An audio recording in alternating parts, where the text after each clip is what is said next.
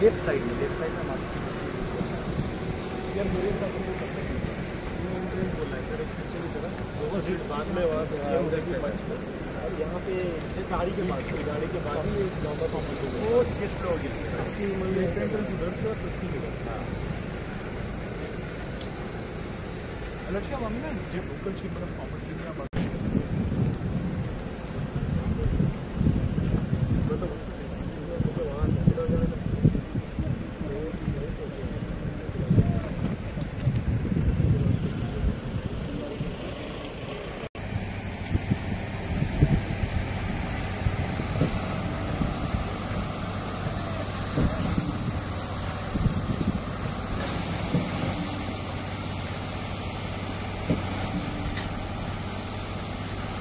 you